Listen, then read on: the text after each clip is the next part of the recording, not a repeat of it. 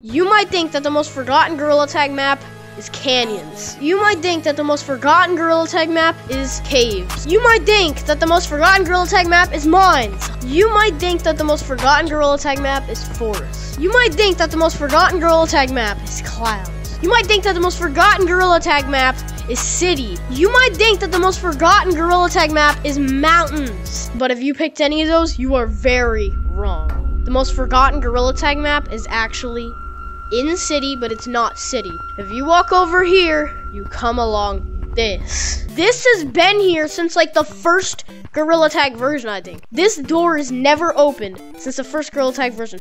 Please come back soon.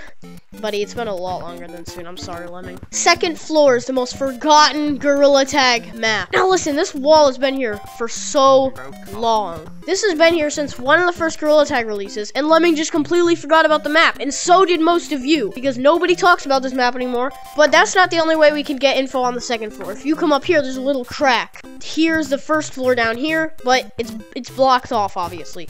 On the other side of here, you will get to this area on screen. Now, this has been blocked off for some time. Now, I don't want to be one of those update theorists, but I have to say, I think that in one of the upcoming updates, this is going to open, and there's going to be a mall up here. Like a straight up mall. And there's going to be a whole bunch of new cosmetics that are permanent to buy instead of just down there.